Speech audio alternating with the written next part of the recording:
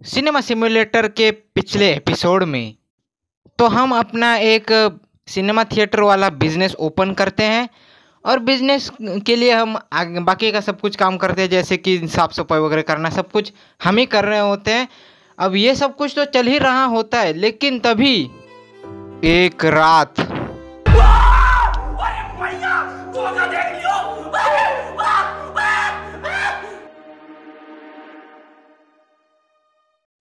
ये हाथ हिलाता हुआ आदमी कौन था? इसका तो कुछ खुलासा नहीं हुआ।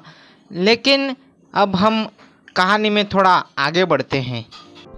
तो पिछले एपिसोड्स में दो कैंडिडेट्स आते हैं, लेकिन दोनों के दोनों ना बोल देते हैं। तो यहाँ पर मैं जैसे बाहर जाता हूँ, रोटी अंकल जी बाहर खड़े होते हैं। वो मुझसे पूछते हैं कि तुम्हें कोई कर्मचारी मिला? मैं बोलता हूँ, नहीं, बहुत, क्या कर्मचारी ढूंढना इतना मुश्किल है? हाँ सर जी, बहुत मुश्किल है। जो भी आता है, पहले दिन तो बोलता है कि हाँ मैं दूसरे दिन आऊँगा। लेकिन साला दूसरे दिन, भाई वो आता ही नहीं है। साला बोलता है कि मेरे को दूसरी जगह नौकरी मिल गई है, मेरे को नौकरी नहीं करनी है।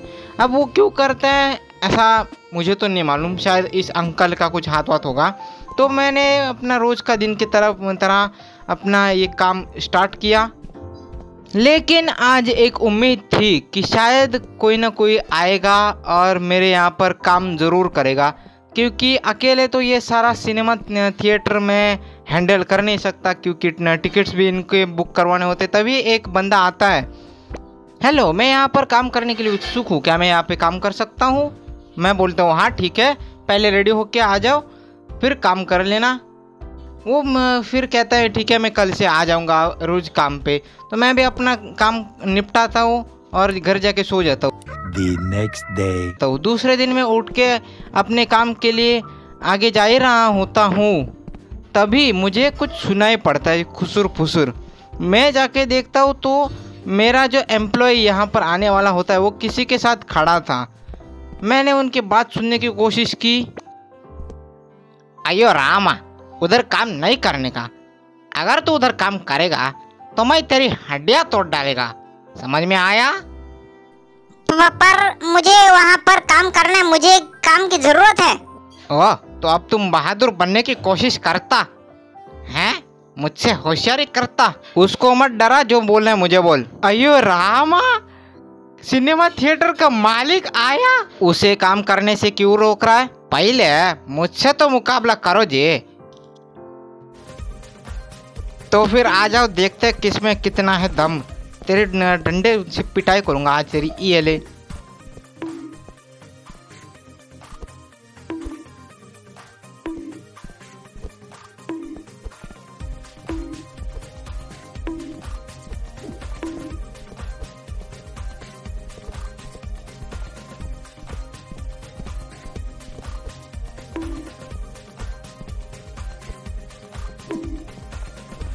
अब बस ये मरने वाला है। ये एक फटका और ये आखिरी फटका। अयो मैं तेरे को नहीं छोड़ेगा।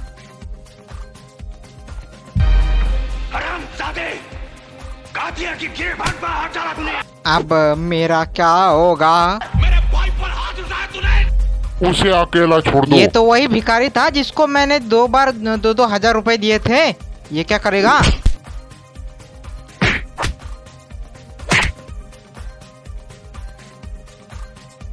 माफ़ करना मुझे बहुत डर लग रहा है मैं तुम्हारे यहाँ काम नहीं कर सकता। क्या तुम ठीक तो हो? हाँ मदद के लिए शुक्रिया। तुमने जो मुझ पर उपकार किए थे ये उसकी कीमत है। वैसे तुम्हें अभी संभाल के रहना चाहिए शायद कोई तुम्हें जानबूझ के परेशान कर रहा है। वो गुंडे वैसे बेवजह तुम्हें कुछ नहीं करेंगे। वैसे कैसा रहेगा कि मैं तुम्हारे यहाँ पर काम करूँ? क्या मैं कर सकता हूँ? क्यों नहीं?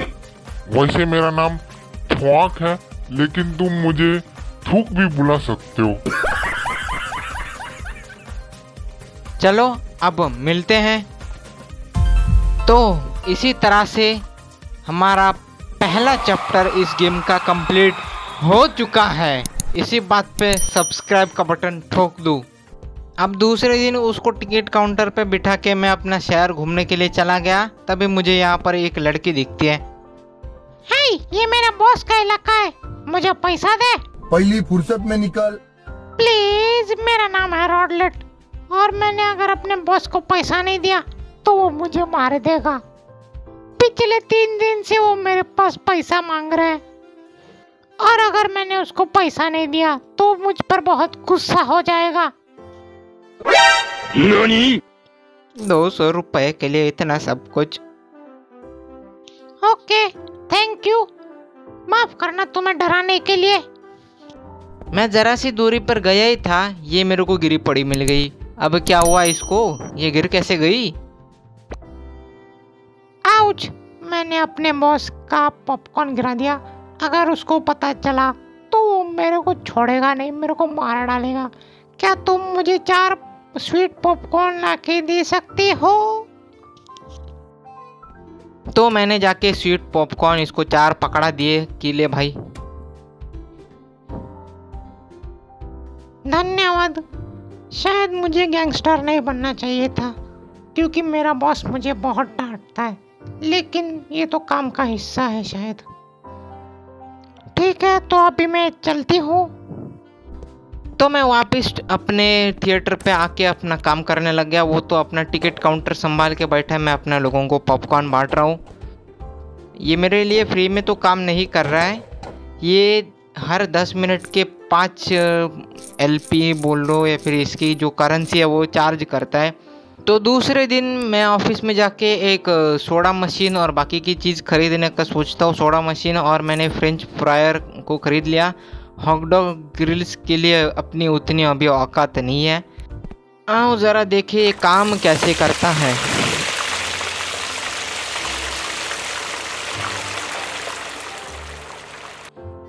लो, ये बन गए अपने फ्रेंच फ्राइज और ये कैसे काम करता है? चलो, चालू करो। अच्छा इसके अंदर तीन फ्लेवर के स्मूदी या फिर जो भी है वो कह लो, वो है। ऐसे इसको फिल करते रहना पड़ता है क्या? नहीं फिल तो पॉपकॉर्न करने पॉपकॉर्न की मशीन भी नहीं है, उसके अंदर पता नहीं इन्फानाइट कॉर्नस भरे हुए हैं। चलो आओ, थोड़ा ये डेकोरेशन का भी ले लेते हैं। दे दे भाई मेरे को, कहाँ गया? अच्छा इन्वेंट्री के अंदर है।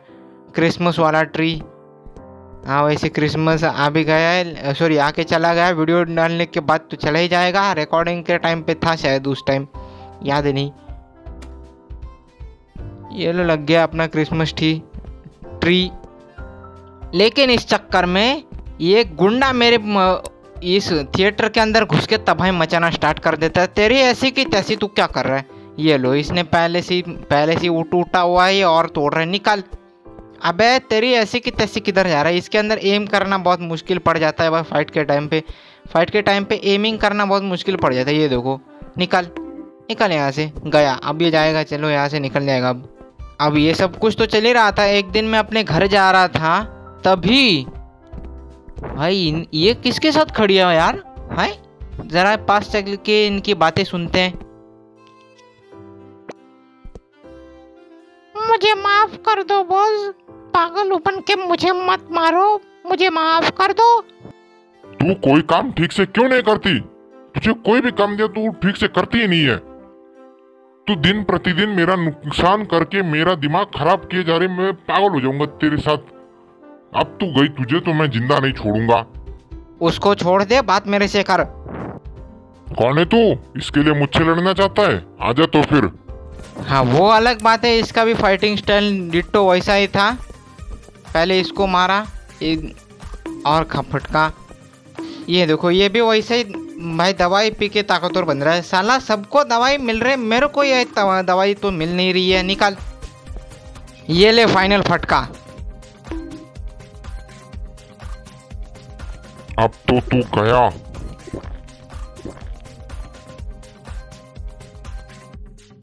निकल यहाँ से!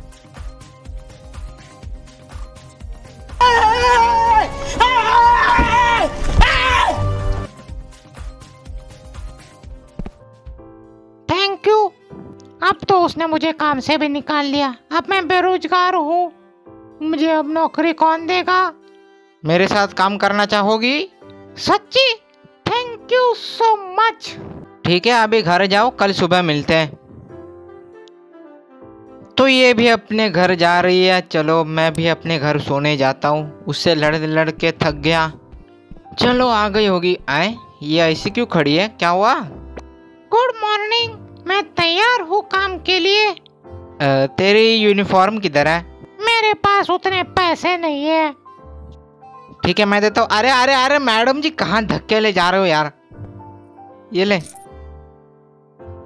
ओके मैं थोड़ी देर बाद आती हूँ। Much, much, much later. तो ये भी यहाँ पर एज अ पॉपकॉर्न बांटने वाली मतलब देने वाली म... अबे, ये टिकट बहुत बार बार क्यों खराब होते जा रहा है? इसकी भी ड्यूरेबिलिटी बढ़ानी पड़ेगी मेरे को। हाँ वो देखो पॉपकॉर्न दे रही है सबको। हाँ तू पॉपकॉर्न दे, मैं बाकी सबको ये जूस वगैरह देता हूँ। ये सब कुछ पॉपकॉर्न ही देगी या फिर नहीं, बाकी सब कुछ मुझे ही देना पड़ेगा? वाह। कोई नहीं शेफ़ होता तो शेफ़ काम कर देता। जॉब रिक्रूटमेंट सक्सेसफुल रही। हमने एक के बजाय दो दो एम्प्लॉयज़ रिक्रूट कर ले इसी बात पे वीडियो को लाइक करो और चैनल को सब्सक्राइब कर दो। The next day. दूसरे दिन मैं काम पे जा ही रहा था तभी यहाँ पर मेरे को एक बूढ़ी अम्मा मिल जाती है। वो मुझसे कहती है कि बेटा मेरे पैर में बहुत दर्द हो रहा है। मेरा पोता वहाँ बस स्टैंड पे टिफ़िन की राह देख रहा होगा। क्या तुम ये टिफ़िन बॉक्स उस तक पहुँचा दोगे? तो मैं भी बोल देता हूँ हाँ भाई पहुँचा दूँगा। बड़े बूढ़ों की मदद तो करनी ही पड़ती है। तो मैं आके उसके पोते माइल्स को ये टिफ़िन दे देता हूँ वो भी मुझे थैंक यू बोल देता है और उसके बदले में मेरे को एक कोका कोला की बोतल भी दे देता है। तेरे को अगर इधर धंधा करना है तो मुझे हफ़्ता देना पड़ेगा रे वरना मैं तेरा ठेला तोड़ डालूँगा रे। क्या सच में? अरे हाँ रे और तूने ये सवाल पूछने की हिम्मत भी कैसे करी रे? ठीक है माफ़ कर दो ये लो पैसे। हाँ बच गया। अरे उसको पैसा क्यों दिया? ये गुंडे बहुत ताकतवर है मेरे में इतनी हिम्मत नहीं है कि मैं उनसे लड़ सकूँ। मेरा सारा पैसा लेके चले गए वो लोग। अब मैं घर जा रहा हूँ। Next day. अब दूसरे दिन वो गुंडा फिर इससे पैसा मांगने आ जाता है। आज नया नया दिन रे। जल्दी जल्दी मुझे पैसा दे रे। उसको डराना बंद कर। तो उसके लिए मुझसे क्यों उलझ रहा है रे? पहले मुझसे लड़के तो देख रे। हाँ तेरा आरी रे रे रे रे निकालता हूँ अभी आजा। आ रे। इसको मार मार के इसका भूत बना दिया मैंने। मुझे बहुत दर्द हो रहा है। मैं अपनी मम्मा को बुलाऊँगा, तू संभाल के रही हो मैं अपनी माँ को बुलाऊँगा अभी। इसका सारा रारा री री री निकाल दिया।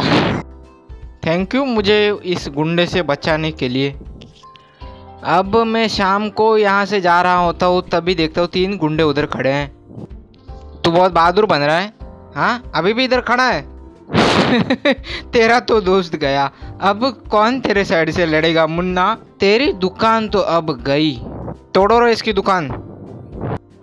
अब इससे पहले कि वो लोग इसका भरता बना दे, मुझे जाना पड़ेगा अभी।